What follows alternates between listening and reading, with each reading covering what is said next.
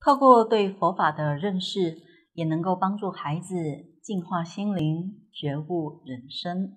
为什么要让孩子学佛呢？因为学佛能够让人明理，注重家庭教育和家庭的培养，从小就把这个根植入孩子的心田。父母亲在孩子心田植入的是善因，以后得到的就是善果。佛法有一句话说啊：“一入耳根，永为道种。”《法华经》也有一句话说啊：“若人善乱心呐，入于塔庙中，一称南无佛，皆共成佛道。”那么小孩子如果从小能够培养他一种善的一些种子，或者是培养他一些道德观念，让他们有一些宗教的信仰，我想对他未来的人生都有很大的帮助。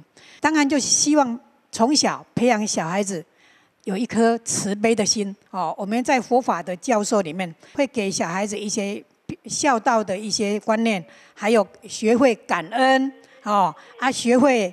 这个设身处地为他人设想，佛法是指导人生、激励人生、鼓舞人生的。学佛除了可以认识人生、净化人生和庄严人生以外，还可以把缺陷的人生改造为美满的人生，从迷梦的人生演变为觉悟的人生。学佛的好处是说不尽的。始发新闻郭文去建议台南采访报道。